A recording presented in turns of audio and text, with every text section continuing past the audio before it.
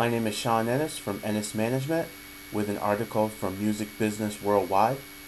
Don't forget to subscribe to this channel and share this video.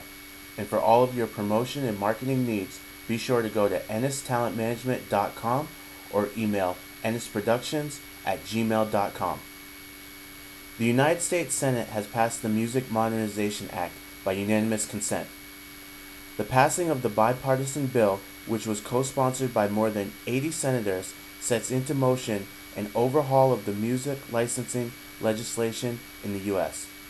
The comprehensive bill includes the Classics Act legislation that guarantees artists and labels who recorded music before 1972 a federal right to be paid for those recordings when played by digital radio outlets. The Music Modernization Act package contains three key elements.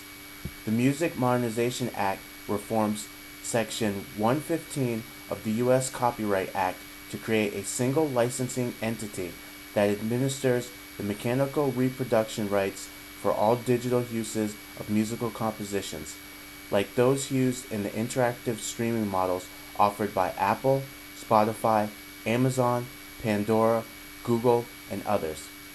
It also repeals Section 114 and, consistent with most federal legislation, utilizes random assignment of judges to decide ASCAP and BMI rate setting cases.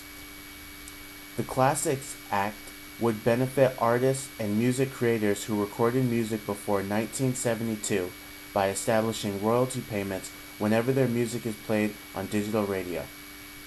Sound Exchange would distribute royalties for pre 72 recordings played by internet, cable, and satellite radio service, just as it does for post 72 recordings. Currently, only sound recordings made after 1972 receive payments from digital radio services under federal law.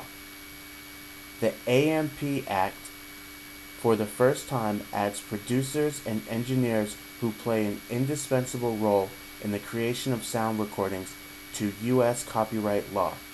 The bill codifies into law the producer's right to collect digital royalties and provides a consistent, permanent process for studio professionals to receive royalties for their contributions to the creation of music.